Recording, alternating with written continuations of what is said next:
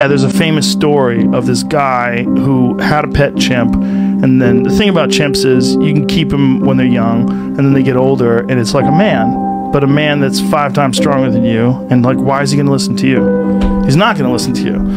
And so when you do something for someone else, but you don't do something for them, they get rage, like horrific rage. Mm. This guy gets rid of this chimp, brings it to a shelter. The shelter takes it in and he goes to visit it every year and the chimp goes to see him like oh my friend i miss you i miss you. Why can't i come home? But he can't come home ever because he would just take over the house. So this guy goes to visit the chimp and he brings a birthday cake. Happy birthday buddy. And the other chimps that are in cages right next to it are like this motherfucker didn't bring me a cake?